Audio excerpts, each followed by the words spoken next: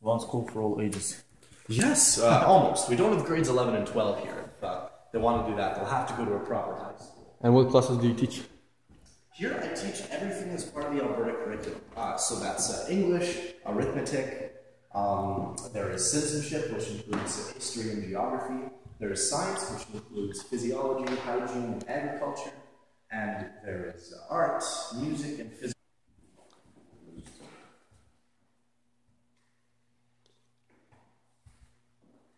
Those numbers 93? You know, the numbers on the outside, those actually indicate the day of the month. Uh, so I haven't wound the clock the school year yet, but if it were wound, the red hand would be pointing to the seventh, to indicate that it's the seventh of September. And the Roman numerals why it's there. But the uh, long hand,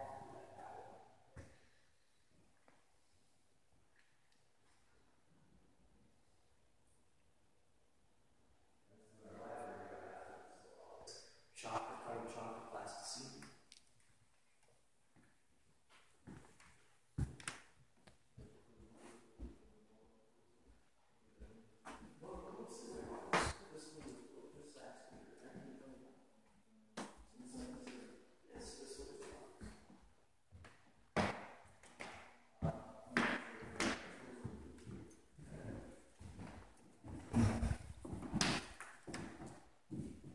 And you're absolutely right. I really do like the windows. And you know, the windows, are only sources of light here, so they are very important. We don't have uh, any electricity coming from town or anything like that here.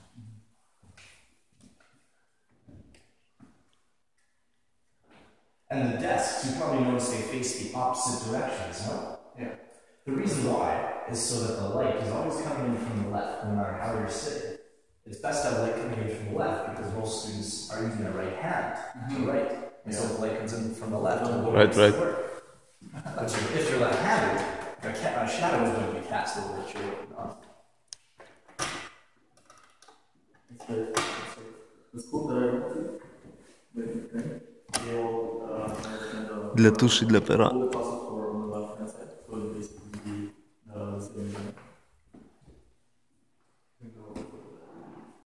lot of uh, Ukrainian children attend this school, but we're actually not allowed to use Ukrainian in the classroom. Uh, by law, English is the only language that we're allowed to teach. That's the case for all of Western Canada.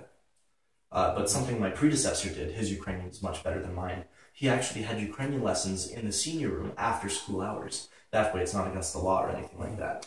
Uh, you know, most of the children are illiterate in Ukrainian, so they're only able to speak it. They're not able to read it to write it. So a lot of his lessons focus on uh, the textbook they use is uh, Bukvar. I'm sure you've heard of it, and uh, you know, teaching the alphabet and things like that.